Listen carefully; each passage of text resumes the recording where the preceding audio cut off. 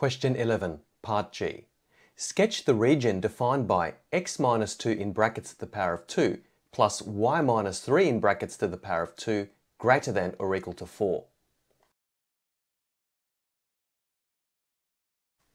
The shaded region is on and outside the circle with radius 2 centered on 2, comma 3. So it's important that the circle is drawn with a solid circumference, not a dotted circumference. So here is the sketch, circle radius 2, centered on 2, comma 3, and the shading is clearly shown on the outside of the circle.